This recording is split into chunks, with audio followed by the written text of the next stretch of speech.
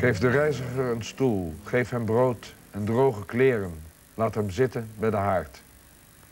Hij is overal geweest. Hij die alles heeft verloren en die nooit iets heeft bewaard. Haal flessen uit de kelder en haal muziek in huis.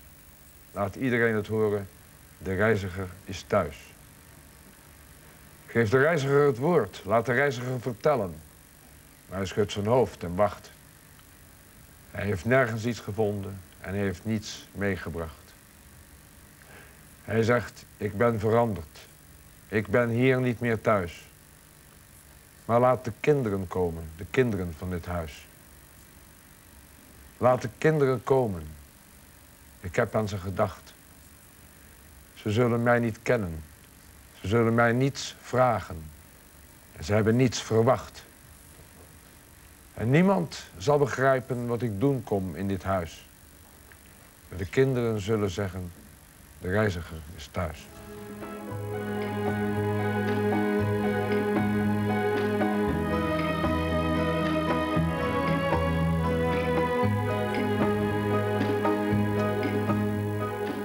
Direct na de